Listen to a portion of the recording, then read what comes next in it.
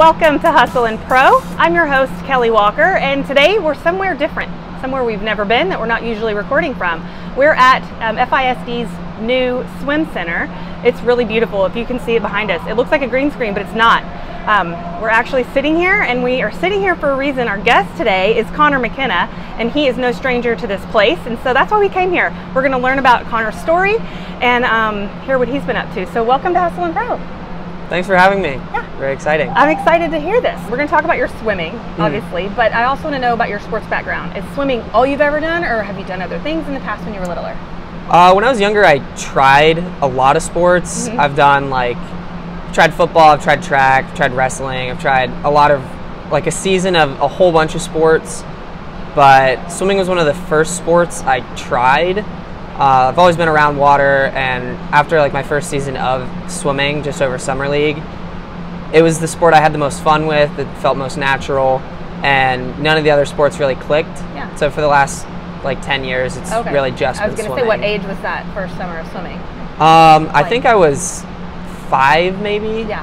I think I was really young, five or six, when I first started swimming, and then Great, that's young. yeah, Yeah. and then the last eight or nine years has been 100% competitive swimming, taking it seriously. Focus on swimming. Yeah. All right. So then, um, when you're not in the pool, Mhm. what what do you do to? I'm sure you don't have a ton of free time um, when you're competitively swimming, but Mhm. what do you do to fill that time when you're not swimming? Um, most of my hobbies are because uh, swimming takes out a lot of energy and uh, a lot of my time itself. Most of my hobbies are pretty laid back. Uh, watch a lot of TV, kind of just lounge around the house, hang out with friends, family. Um, eat a lot. One of my favorite hobbies is just we have two little pantries, the main one, and then just another one for like other assorted snacks that just stockpile up easier. So one of my favorite hobbies is fridge, pantry, pantry, and I Oh. just cycle between. So you make the double pantry route. oh yeah, back so and forth. this is swimming burns a lot of calories, and you're Mhm. just always always hungry, always Yeah. eating. Always yeah. eating. Do you have to be careful? Um, like, do swimmers have to be careful what they eat? Like some other sports, you know, if you're a wrestler Um, or some other things where you're like watching your calorie intake and all that, or are you just you good to go? I personally don't watch anything with what exactly I'm eating or the amount that I'm eating. I eat I eat the foods I eat and the amounts I eat to feel good in practice. Yeah. And usually what that ends up being is just a lot of food. Um, and my mom cooks really healthy, so I I eat healthy dinners every night. I eat healthy lunches for the most part. I eat healthy breakfasts. But in between, you know, there's a lot of leeway with snacks lot and just snacks, munching yeah. on stuff. There's no shortage of ice cream or Same. anything. It's Same. I'm a in lot the of food. same boat. Mhm. Okay, so I want to talk to you about your recent success with swimming. Mhm. There's a lot of it, right? So I'm going to read some things that I, I think I know. Correct me if any of this is wrong. Um, you guys, Wakeland, just became back-to-back state champions.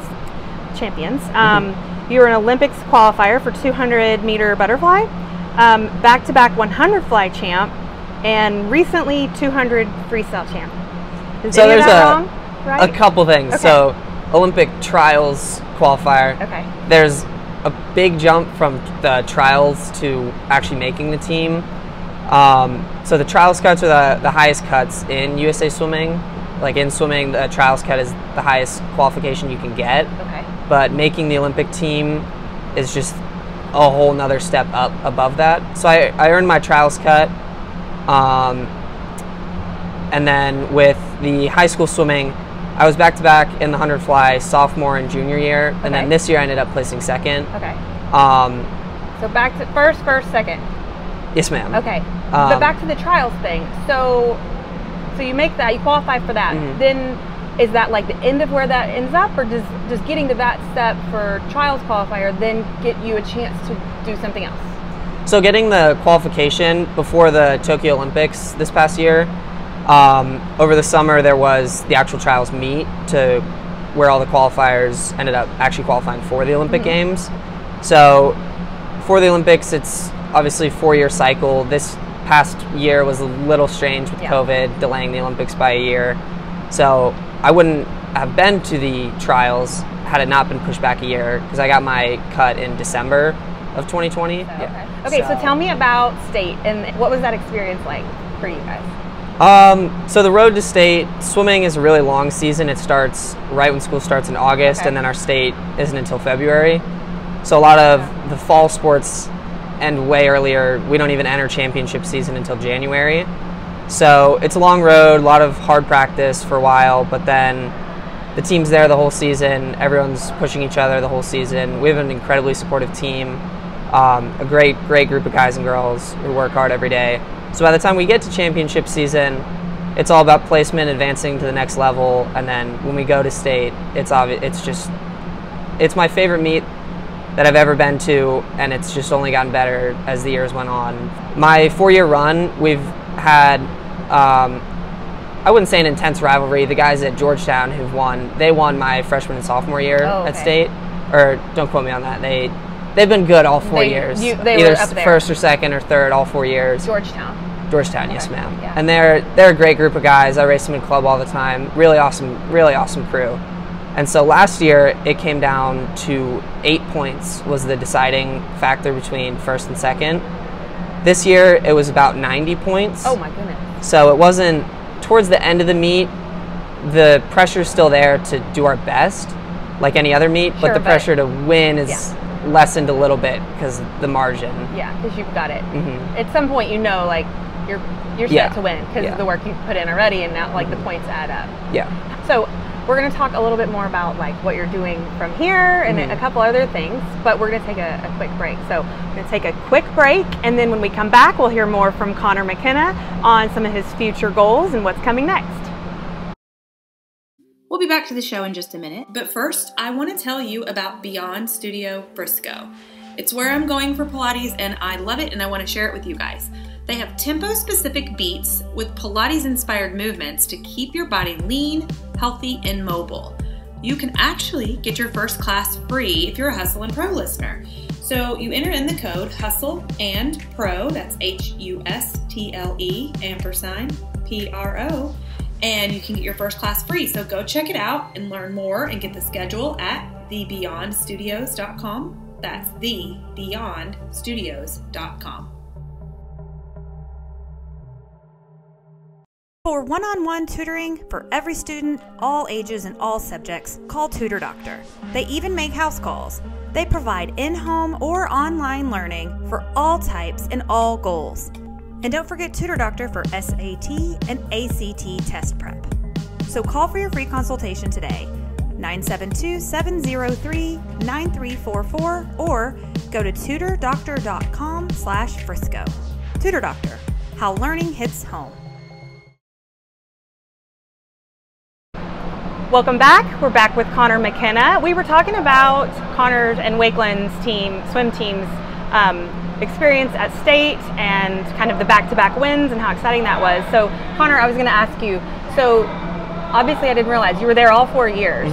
So then, kind of walk me through then, like, what what was the success of those four years, like your freshman year on? So, stepping back a year before I even showed up to this program, uh, my older brother uh, and another guy a lot older than me, he was a senior when I was a freshman. My older brother's a couple years older than me. So, the year before I showed up, when they were a junior and my older brother was a sophomore, they really got the momentum swinging on the team. Um, they're both outstanding leaders and they really helped swing the momentum of our team. And so they let us, when I showed up my freshman year and they continued the momentum swing, we went from placing 17th at state to my freshman year, we placed second at state. So That's a nice jump. that was, I was happy to be a part of that, showing Yeah. up my freshman year and being able to go to the state meet. But I love that you recognize that the older guys and Mhm. girls paved that way for you, and it's not like you just show up and Oh, oh, no, it easily was- it's winning. yeah. Like you, and that's because one of them is your brother, so you Mhm. probably growing up saw Yeah. that path and Yeah. and you know his journey going through all that. Mhm, Yeah. absolutely. And so, following their momentum, it was just incredibly exciting show up and play second after all the work. Just my freshman year, it was first year on the team, didn't know how state was going to go, and then to have it go so well was just amazing. Right. And then following through the years, my sophomore year, we ended up placing second again. Um, but the main thing that really progressed year by year was just the team culture that we had just continued to swing and continued to improve. And so my junior year, when we ended up winning, it really goes back to just the culture that we developed years and years before I even showed up. The culture just started improving and improving. It And so takes now- time to build those programs. Mhm. You know, we have a lot of new schools here in Frisco, Yeah. um, and so I, I, I sometimes like feel for those kids and parents, and you're like, it's really fun to be at a new school. It's clean and it's new, and Mm-hmm. the building's amazing. But as athletes, you know, like oh, it's gonna be hard. It's Yeah. gonna take time to like build all of that, just the mesh that it takes to like build Mm. traditions and programs and the spirit and like, not that that is makes you the skill, but it all somehow matters Mhm. to make the program click, right? Oh, absolutely. It was when we show up at any meet, you know, the energy's high, we're all cheering for each other. We're we're a loud team, we're an energetic team, and we're all there for each other, cheering for each other, and it's just only gotten better as the years have gone on. So all that sounds good. Have there been hiccups and challenges? I mean, have there been major issues that either you have individually, Mhm. even like swimming club, or your team has had to face that you had to overcome? Um, so very fortunately, we I haven't experienced too many major challenges.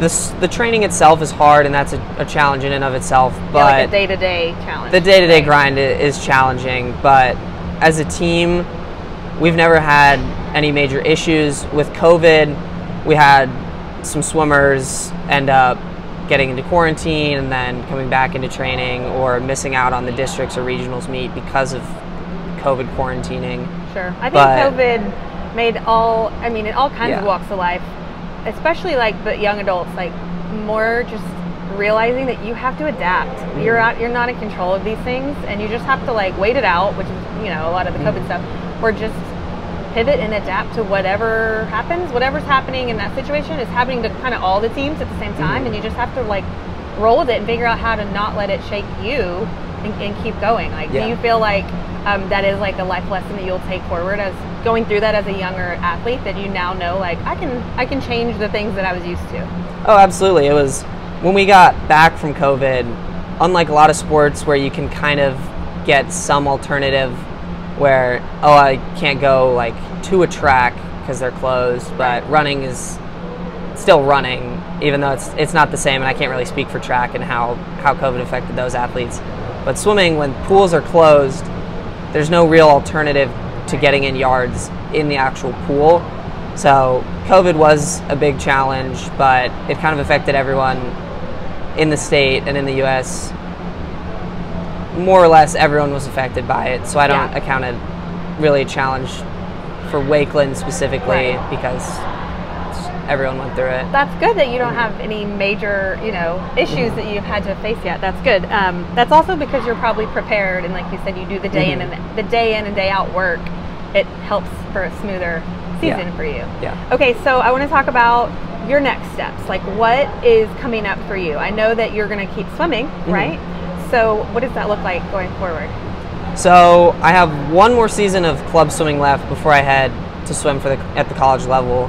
Uh, so with club swimming, we have now finished our short course season, which at the pool behind us you see is a short way across the pool, Okay. and we're about to enter the long course season where we swim the 50 Long meter ways. course instead of a 25 yard course. Okay.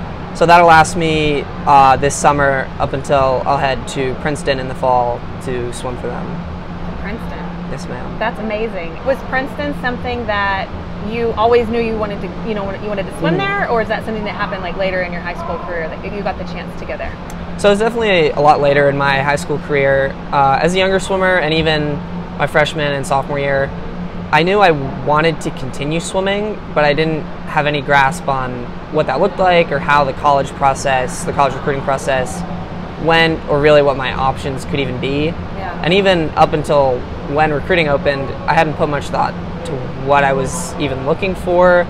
So the recruiting process itself, it was interesting, it was fun. I learned a lot about myself and what I am looking to get out of the next four years.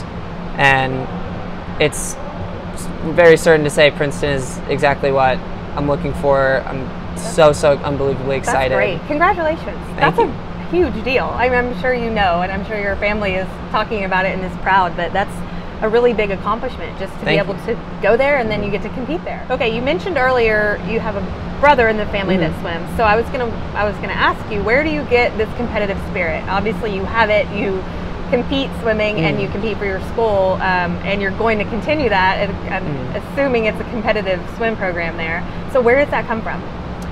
Um, I don't know if I can pinpoint one specific point or place or reason or why. Um, I've always been competitive. I think with my brothers and just my family growing up, really, really young.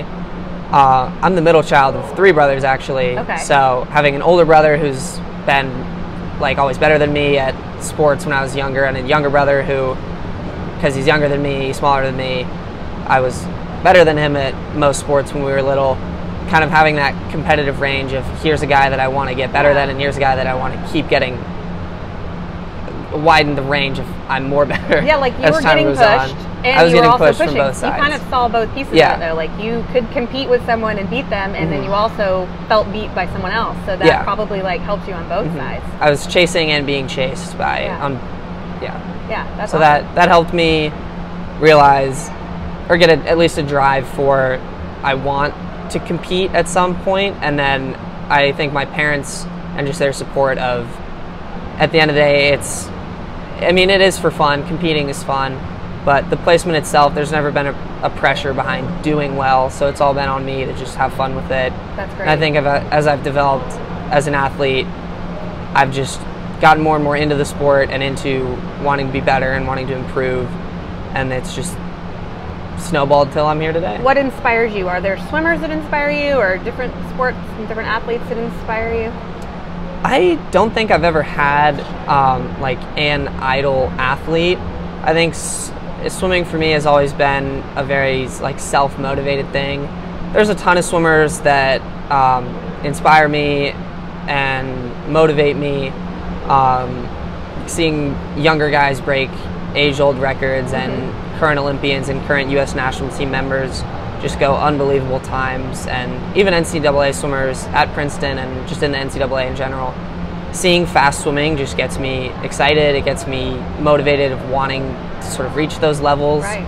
So for me, there's a ton of guys. I mean, my brother for one, uh, as a swimmer, but there's just any fast swimming at any level just gets me excited. Gets me motivated. I love that. That's great. And I appreciate you. you. taking your time. I know that you probably have busy, that we're here at a school day. There's some activity behind us, but I Mm-hmm. appreciate you taking your time and sitting down and giving us a little bit of a behind the scenes peek at what you guys have been up to at Wakeland. Of course. Thanks for giving me the opportunity to talk. Yeah, no problem. And thank you for listening to this episode of Hustle and Pro. If you're watching on YouTube, be sure to subscribe. And if you don't follow us yet on Instagram, follow us at Hustle and Pro. We'll see you next time.